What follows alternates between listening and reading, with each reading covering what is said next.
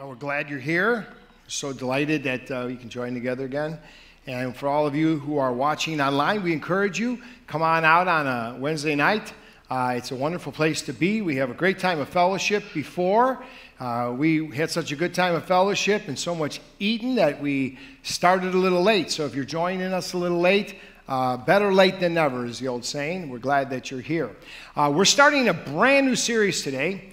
Uh, it's a series called The Family Matters. Uh, I wonder if it does. The family matters. Uh, we look around and uh, families are uh, struggling right now. And, uh, you know, this series was meant not just uh, to just reaffirm some of the biblical truths uh, about the things that God wants us to do as a family. But I think it's, it's a primer to really help families that are struggling. So I would encourage you, if you know someone that uh, maybe they're struggling in their marriage, this would be a good ser- series to come out to. If you're struggling raising your children, this would be a good series to come out to because we really have a crisis on our hands. We live in a world right now that is completely out of control. We see things that are happening all around us that we don't quite understand. Crime is on the rise, inflation is obscene. Uh, the, the, chaos that we see in our institutions, uh, even in our own government, it should cause us to shake in our boots, I suppose, if we weren't believers. And uh, the one source of stability that you would want to have in these troubled times a place that traditionally was a place of stability was our home. But right now, many children are waking up. They woke up this morning and they entered the world that had chaos all around, and their home was no better. They have no refuge, they have no place to run to find strength and stability. And that's what the family is all about. God created the family to be the bulwark against a lot of the, uh, uh, the obstacles and challenges that we face. So many families that we see, you know them, you've met them, they're in disarray.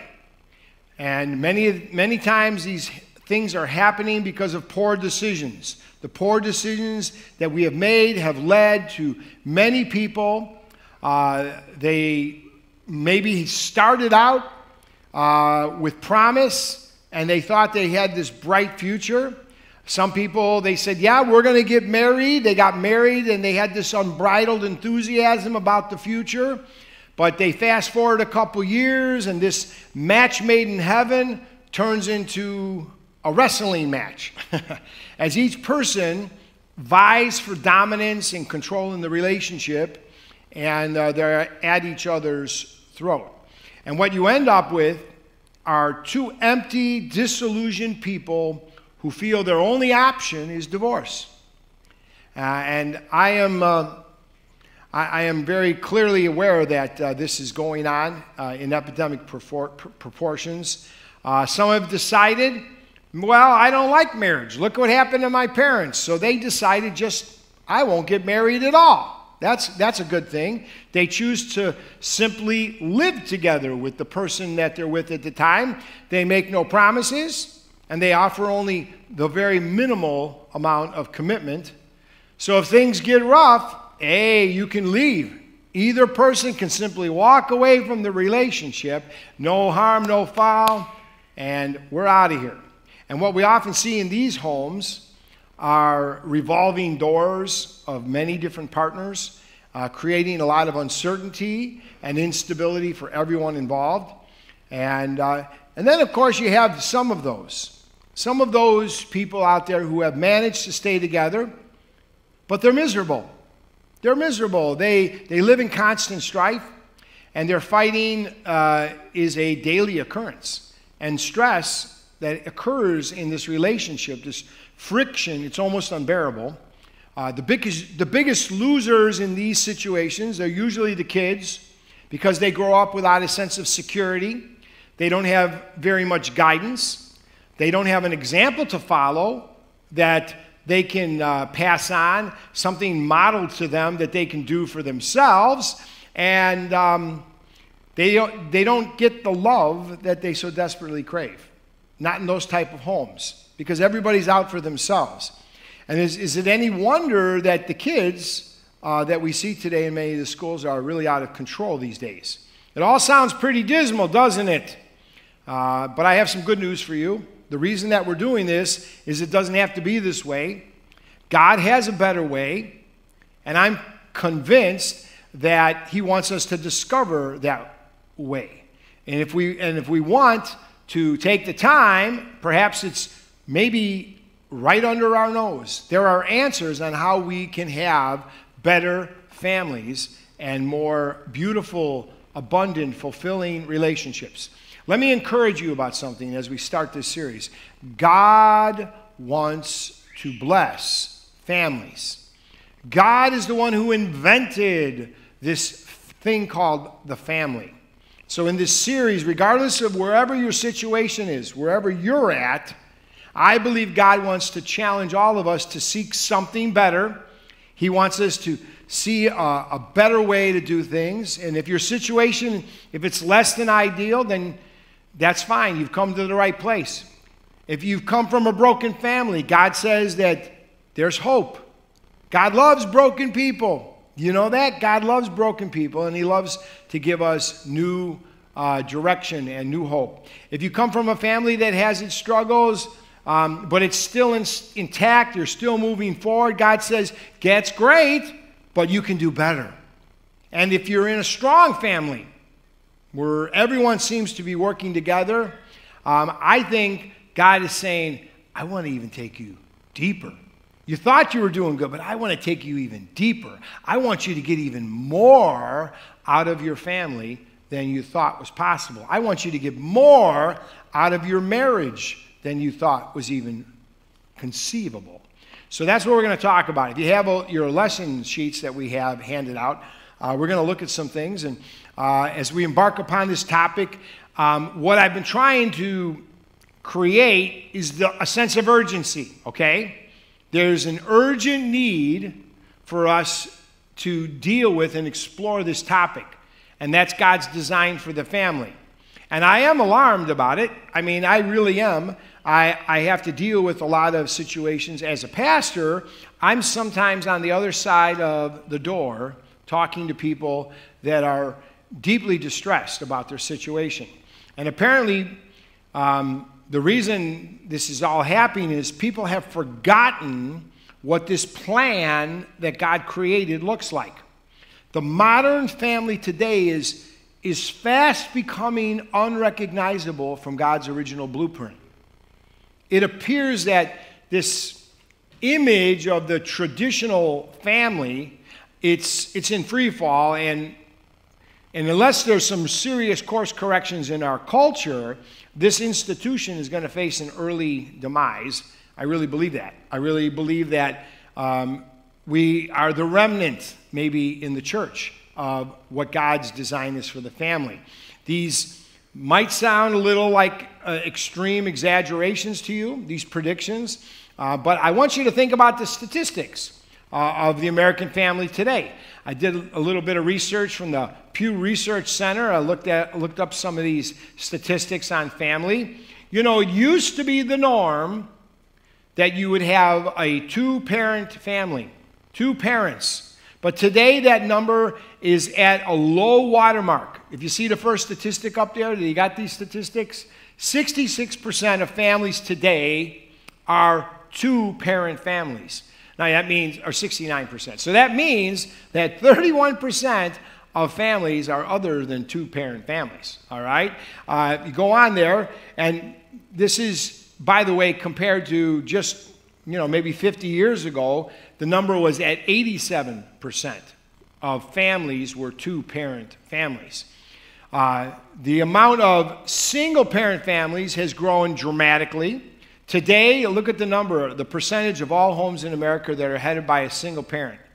31% of homes in America are headed by a excuse me, by a single parent. Some of it uh, for no fault of their own. If you're a if your mate died, I guess that's something that happens, right? It's an unfortunate thing. But a lot of these things could have maybe been avoided single parent homes. In uh, 1960, just 5% of all births occurred outside of marriage.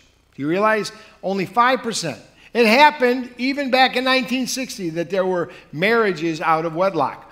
But by 1970, this number doubled to 11%. And by 2000, and it's grown since then, but by 2000, one third of all the births occurred to unmarried women. One third. That's an amazing statistic to think that people are bringing children into this world and they're already in the negative with the resources that are necessary to raise children these days. They're already behind the eight ball. And that's just an amazing thought. Uh, and then, then we, we all know about this statistic of divorce. People treat marriage like a disposable razor, I wrote down on your notes. Uh, one in two marriages stay together these days. One in two. Where, where is, and then here's the sad part it's not really much better in the Christian community.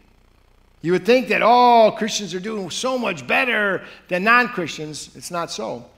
I think Satan is attacking families all over the place. Does, he's indiscriminate. He doesn't care. He wants to destroy God's design. Uh, here's one more statistic for you. Um, what percentage of children do you think are living in blended families? You know what blended families are, right? Those are families defined by a household with a step parent or a step sibling or a half sibling. How many, how many people, how, what percentage you got there? We got a numbered up there? 16% of children are living in blended families right now. And uh, no other, um, I, I, just don't think that there's no other way to understand it than to say that our, our families are in crisis. The number of children in these families, uh, in the average family today, has declined. In 1950, the average number of children in a home was over three. They had over three children. Today, the average is what is that? I got 1. Point, I think 94, 1.9 children. They can't even get up to two. Uh, in, our, in order for a culture to maintain a population, every family, just to maintain the population, unless, of course, you have open borders, but in order to maintain the population of a society, you have to have, I think it's 2.4 children on average per family in order to maintain your population. And, uh, and we're not even keeping up with the pace of population to maintain our society. And then add to this the threat of same sex arrangements. In 2021, it is estimated that there were over 700,000 same sex couples in America. I don't know how accurate that is, but I know that it's only worse that number has only grown as the culture is just relentless in trying to redefine the family into some new, distorted image that's unlike anything historically that we've ever seen and unlike anything that God had ever designed or thought of. So, as we look around at the cultural landscape, it's clear that there's a breakdown in the social fabric that holds us all together. The family is the strength and the bedrock to our society. These changes that we're seeing have forced us to grapple with some really hard questions. And I think for us as Christians and individually, each and one of us, we need to ask a very hard question. Because the hard question is could it be that we're just not following the blueprint? Do we want to do things God's way? That's the, that's the question.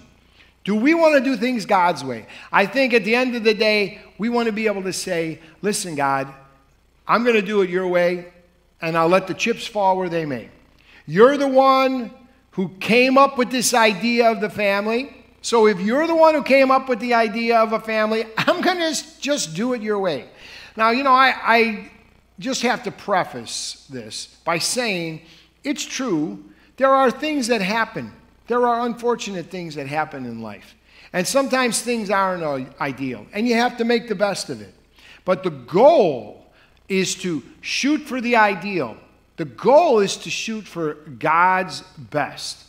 And, um, you know, like I said before, there are multiplicity of views about what a family should look like. And there's a concerted effort to, to have a, an acceptance of all these new norms that we've already discussed. So, our challenge as believers is to have, and here it is, the courage to go against the flow. We've got it, this takes courage. There's a lot of pressure to just say, listen, we're living in the 21st century. We got a new definition of the family. We have to have the courage to say, well, I like the old definition, the one that God gave us. And, and, there's this enormous pressure, not just in our society, but there is an enormous pressure on the church to conform to these new standards. And the battle is really raging over what constitutes a family. It's become very fierce. And society is going to tell you that families, they come in all shapes and sizes. They're all different, but don't judge. None of them is better than, the, than any other. They're all, they're all equally good. Don't go saying yours is better, right? Is that true? Is being raised in a single parent family just as good as being raised in a two parent home? A little later on, we're going to be talking about the statistics of, of fatherless homes, and it is staggering the difference between a home with a father and without a father. Is there really no difference between a home with two mommies as opposed to a traditional home with one mom and one dad? A male presence and a female presence? And if, you, if you're sitting here saying, I, I kind of think that's true, if you believe that each of these arrangements are equally good, it's just as good to have a same sex um, parenting of a child as to have one man and one woman, then this study is probably not for you because that's not the way that God designed it. And we believe that God's design is superior to all other arrangements. Now, I know that some people might listen to this and they hear that and they say, How could he say that? Oh, that guy is so bigoted and he's looking down and he's so judgmental. Well, I'm just telling you that I look at the results. And God's design always works and it's superior to all other arrangements. His design, if we really follow his design fully, is the ideal environment for us not only to have a happy home with our marriage, but to raise children and find satisfaction and fulfillment. No other structure that is created out there can compare to God's master plan. I believe that. I am convinced of it. And so we want to look at what God has to say. That's what this study is about. We want to look at God's design for the family, God's design for marriage, God's design for child rearing, God's design for uh, how to deal with widows and orphans, and God's design, and we can go down the list.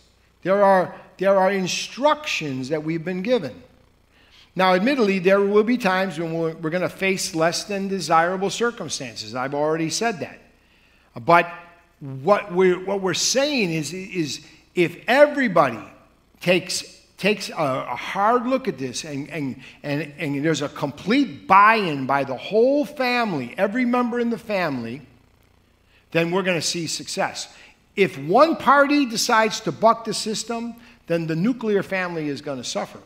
It's just not going to be able to work the way God wanted to because this takes mutual goodwill by everyone involved. So let's just start at the very beginning, okay? Let's just get some, let's just get some uh, foundational truths in, in, uh, in front of us. We're going to go back to the garden. God gave us a template, and He said, here's a template to build on. And uh, some things, you know, I think God says are pretty obvious. I think we have kind of figured it out. Mankind has had this understanding of what a family, a traditional family, looks like through for thousands and thousands of years since creation. Uh, man tries to distort it, but God really set this in place from the very beginning. Look what he says in Genesis 1:28. He says, and this is God speaking. He's giving instructions. He's looking at this man that he's created. He says, God blessed them, and God said to them, to Adam and Eve, He says, Be fruitful and multiply, and I want you to fill the earth and subdue it and rule over the fish of the sea and the birds of the sky and over every living thing that moves on the earth. Now, there were a number of instructions there, but that first half be fruitful and multiply and fill the earth. The goal from the very beginning in God's economy was for us to fill the earth. That was what He wanted us to do. And it takes certain elements in order for that to occur. You can't fill the earth if you only have all males or all females. I, I just, there's a little bit of simple biology there. And uh, where this isn't a biology course, but let me just, just trust me on this. You cannot fill the earth, you cannot be fruitful and multiply if you only have males or only have females. You have to have both. So it just, by the very basic premise of wanting to fill the earth and see the population of the earth grow, which is God's desire, then you needed to have an organization, a structure of a man and woman. The goal was to have a specific structure and an organizational makeup that would enhance and make it possible to be fruitful and multiply. So you get my point, right? In the next chapter, if you look at Genesis chapter 2, verse 24, he continues on. He gives some more instructions. And uh, look what he says here. He says here, um, for this reason, and this is right after saying, You're bone of my bone and flesh of my flesh. He, this is a, a, wonderful picture of this, this uh, one flesh relationship of a husband and wife. But he says, For this reason, a man shall leave his father and his mother and be joined to his wife, and they shall become one flesh. And the man and his wife were both naked and were not ashamed. So here we have in two simple verses some wonderful principles. I, I just want to bring out some of them. You could glean a little bit more if you wanted to study this deeper, but there are four timeless truths that transcend every generation and every culture that God wants for this starting point, the foundation, which is marriage. The first thing he said, and he instructed us to do, he said, in this new relationship of, of man and woman filling the earth, he says, he instructed them to leave he instructed them, leave your what? Leave your mother and your father. So that means leave. I mean, literally remove yourself from under their house. Now, Adam and Eve didn't have to leave their mother and their father, but he was laying down a principle here that you are now an independent new unit all to yourself. A husband and wife now become an independent unit that God has created and He has sanctioned, and it's a sacred union that He has put together. Okay? So He says, I want you to leave. And then He makes it clear that this union needs to be permanent.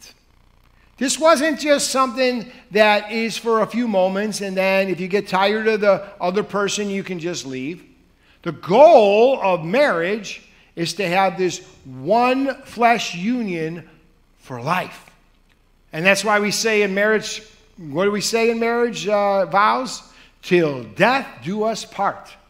And some people are saying, bring it on, Lord, the sooner the better. those are for those who are having miserable marriages because they're missing out on doing things God's way, unfortunately. But I'm telling you that marriage can be the most intoxicating, wonderful thing in the whole planet. And it's a wonderful gift that God has given us. So he says, first of all, I want you to leave. And then he makes it clear that I want you to understand that this union Once it's together, what God has joined together, what does he say? Let no man tear asunder. That's an instruction from God. Very clearly, God hates divorce, he says in the Old Testament. And then he makes it clear, he goes on, he says, the goal of this union, this one flesh union, this independent relationship, this permanent relationship, is to have oneness. Oneness. What does he say there? He says that he says, and they shall become one flesh. Not just physically one. There is this beautiful merging together of two lives into one new unit. It's an indivisible unit. And that is really the super glue to the whole family. Right here, this picture of this strong, uh, indivisible partnership, this union between a husband and a wife. He says, What God joins together, let no man tear asunder. That includes you. God says, I want, I want your goal, the number one goal in marriage, is to have oneness with your mate. So that means if anything jeopardizes your oneness with your mate, then you shouldn't do it. If there's anything that you do that would jeopardize you being one with your mate, that could undermine your oneness emotionally, spiritually, physically, then you shouldn't go there. God says, listen, man, your goal is to be one. It should be your primary focal point of your marriage is I want to be one. My goal is I want to be one with my wife. And I don't want anything to put that in jeopardy. And if we are vicious about it and, and we're, uh, you know, relentless in, in our defense and putting our guards up to make sure that our, that our relationship is, is rock solid, then guess what? You're going to have that foundation in place that God wants. This is such, and it's a beautiful thing too. I'm telling you, it's wonderful to have someone to go through life with that you're on the same page, you're a team, you're working together, you got each other's back. My wife is my ultimate cheerleader. She's the one who cheers me on. All of you, you could all criticize me. You could all tell me you're the worst pastor we've ever had at this church. If my wife believes in me, that's okay. But if she didn't believe in me, well, it wouldn't really matter what you said. You could all think I'm the greatest thing since Billy Graham, Spurgeon. There's another Spurgeon on our hands. Look at this guy. He's fantastic. And that's because oneness is what God is looking for. There's something special about oneness. And the last thing, and this is kind of very similar to this other part, but the character of this union, not only the goal of the union, but the character of the union is to create intimacy. It kind of, you can see the, the partnership between oneness and intimacy. Intimacy, this closeness. It says that the man and his wife were both naked and were not ashamed. There is this beautiful vulnerability that a man and a wife have with each other. I'm telling you, it's just what God really wanted is for you to find somebody, you women and you men, to find a mate that you can be yourself around, that you can be real with, someone that you could be able to share your deepest secrets. You know, this intimacy thing, it, it comes in a lot of forms. We always gravitate and think about the sexual component of this, but intimacy is on so many levels. One of the things my wife says um, that she feels, and I agree with her wholeheartedly, but there's probably nothing so intimate as praying with your spouse. Ah, oh, that's an intimate thing. You're, you're sitting there and you're pouring out your heart with each other. That's a very vulnerable thing to do, right? It's creating a closeness because you're coming together before the throne of grace and you're crying out to God together. It's a, it's a very intimate thing. And so, if you want to create and build intimacy in your marriage, I would recommend the first prescription is start to pray together. If you're not praying together, You really need to because it'll create intimacy and it'll create oneness. The family that prays together stays together. That sounds corny, but it's true. It's true. The statistics show it. The statistics show that families and husbands and wives that pray together have a, have a much, much lower incidence of divorce than those that don't. So, you know, you could just say, ah, you know, you're making, you're overstating the value of prayer. I'll just pray on my own over here and they can pray on their own over there. And isn't that good enough? No, the whole thing is about sharing it together that makes it special. So here's, here, here's the, the bottom line on this God created this um, pattern, this community. He started these communities. He wanted us to have this community, our own community. You kind of got to look at it as an independent community. And this community is going to change, it's going to ebb and flow because the husband and wife are going to, hopefully, if everything goes the way that you would think, they would have children.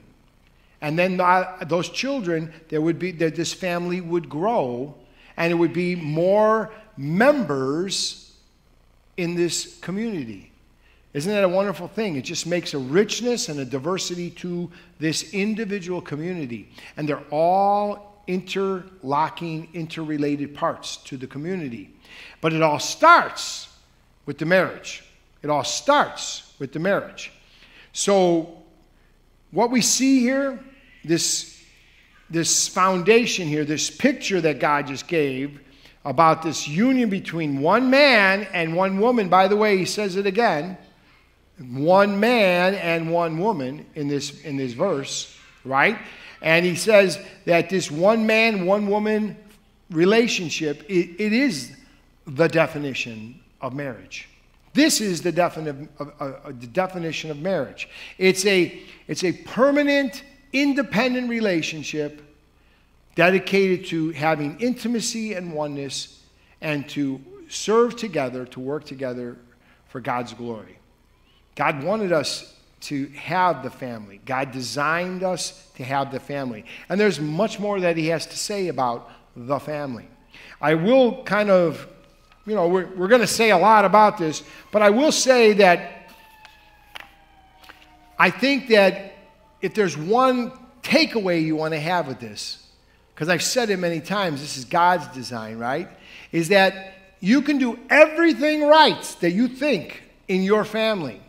But if God is not part of the equation, then the family will not operate the way God designed. God needs to be at the center of your marriage. God needs to be at the center of your child rearing and your parenting. God needs to be the, at the center of all your relationships. And if God is at the center of it, well, then you're going to have a bountiful, rich, beautiful, family. And families matter to God. Uh, if you have a, a godly marriage that applies godly rules, you're going to create an environment for your children that is going to just be more valuable than any schooling that they could ever get. The, the best gift you could ever give to your kids is to have a great marriage.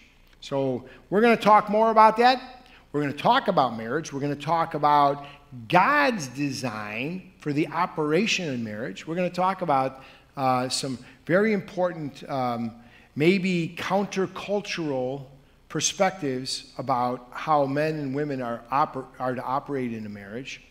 You know, things like words we don't like to use these days, like the word submission or headship or, you know, complementary versus egalitarian, you know, all that other great garbage, you know. But here's the point God's got a great, God's got a great setup. And if we can just follow him and trust him, he's going to give us something good. So, all of this is maybe you're hurting right now. I, I hope that uh, this study is going to be a good one for you.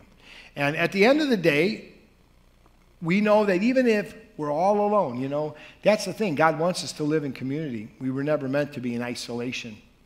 And there's a, there's a move for people not to be in families at all. That's even another, an, another growing trend where people just decide, I'm just going to stay single. I don't want to be, I don't want to be in a family at all. And that's tragic.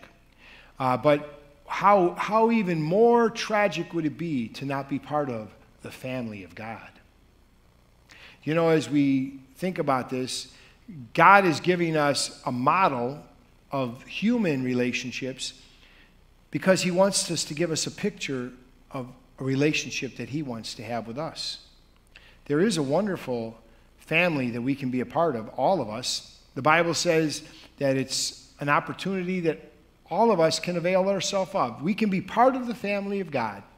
God says, I'd like to adopt you. I'd like to have you join my family. I'd like you to be a part of my family.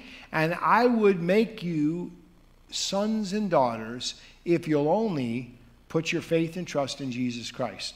So if you've never put your faith and trust in Jesus Christ, then you're missing out on being a part of the best family of all.